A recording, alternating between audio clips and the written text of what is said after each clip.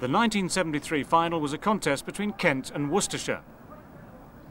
The Kent team were full of stars such as Bob Woolmer. I bowled him. Oh, great blow that for Kent.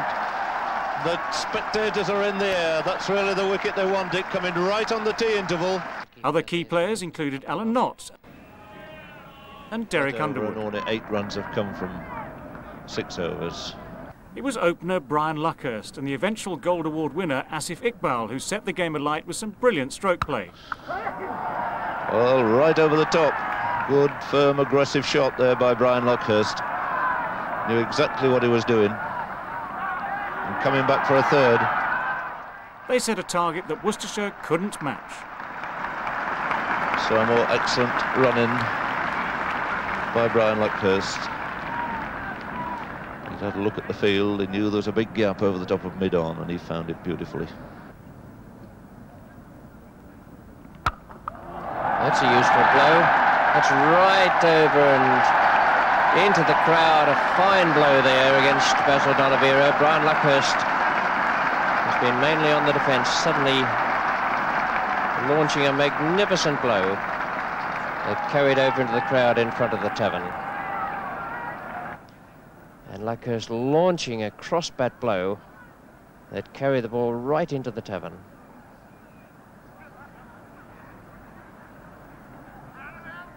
So now 52 for two, and that's a much more healthy looking scoreboard. 22 overs gone, 32 to Luckhurst and 10 to Asif. Luckhurst has strike, Hemsley's the bowler.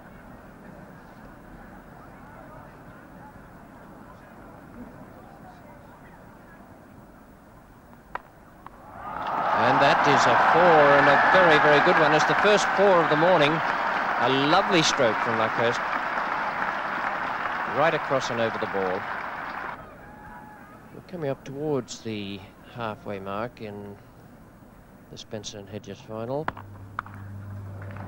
Lovely shot. Beautiful timing there. Asif leaning into that. Jimmy Cumbes not quite able to stop it with the foot at the far end.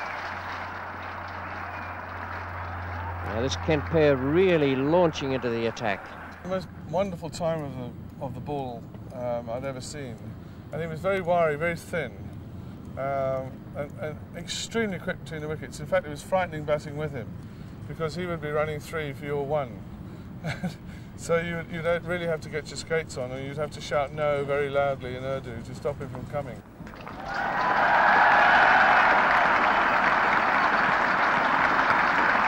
Asif coming back for the third. That's good running. A nice throw, and it's Luckhurst's half century, and what a really good innings this has been. Some glorious strokes, but above all, a complete awareness of the situation and how to go about it, and what a marvellous ovation he's getting from the crowd.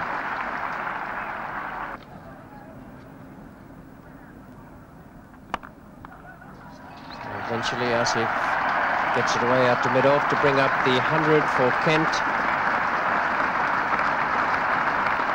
Fine performance, supporters in high delight there. What a marvellous sight this is here today. Really exciting atmosphere.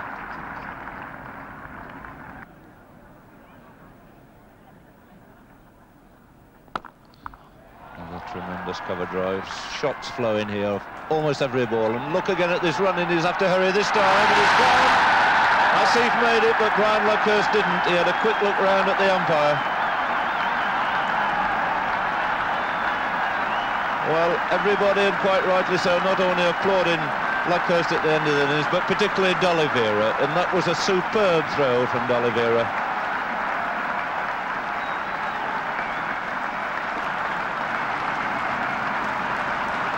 Well, this enormous crowd rising now to Brian Luckhurst, out for 79. An innings of two parts, getting over the new ball, seeing Kent through from their early problems and then really playing some sparkling cricket.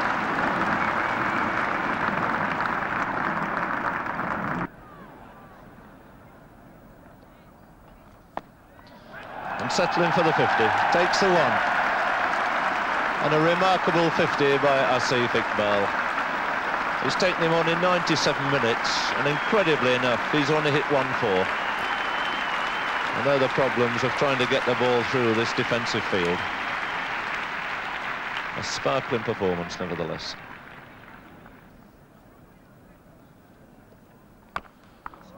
That's an enormous blow from Asif.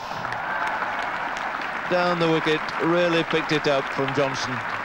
Only just a few inches short of a straight six.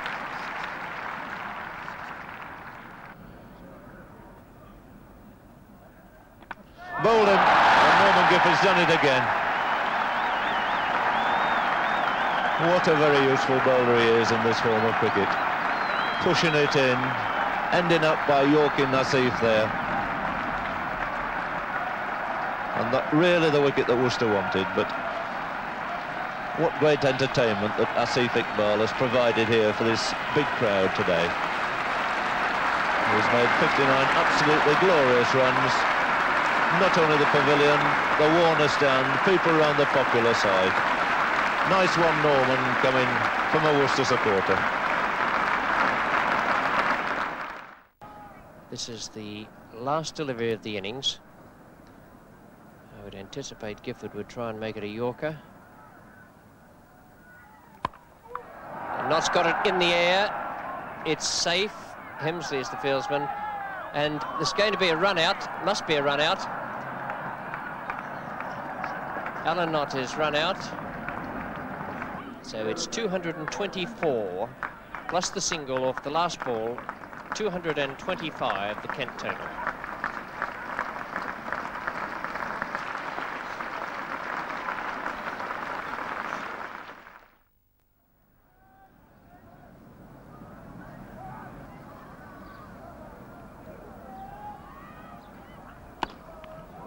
Oh, what a great catch! Now that might just be the catch that wins the match. Asif away to his left there and a superb catch. No wonder Ormrod looks disappointed. He didn't time it. And he had this wonderful ability to bowl people out. He swung it in, swung it out, and he was a lot quicker than people realised. Ran off a short run up, and he was really sort of lively.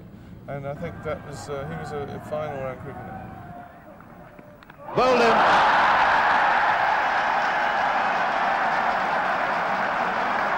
So Asif striking again. But full marks to Norman Gifford. He's really done a good job there. Led that Worcester fight back. The captain pushing himself up the order, coming in at number six, and nobody has tried harder than Norman Gifford.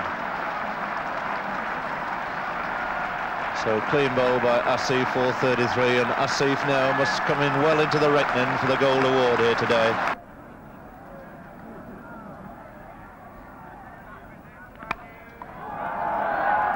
It's got to be run out, and that's it. So what a what an end.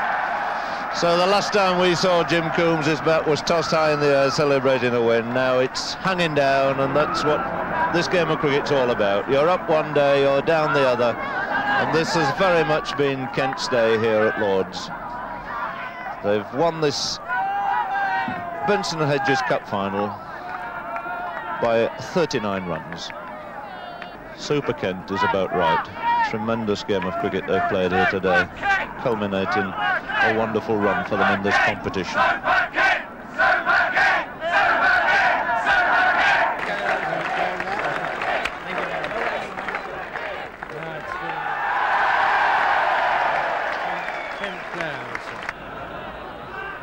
But now, the Golden Award. The great man, who I think is probably the quickest man on his feet in the world, in the world of cricket at the moment. He's a good batsman, he's a good bowler. I've seen better catches.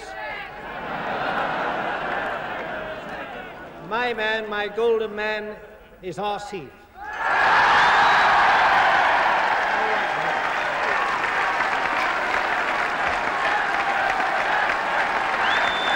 No question that Len Hutton was absolutely spot on there with his choice. What a match Asif has had. What a match both sides have had here today.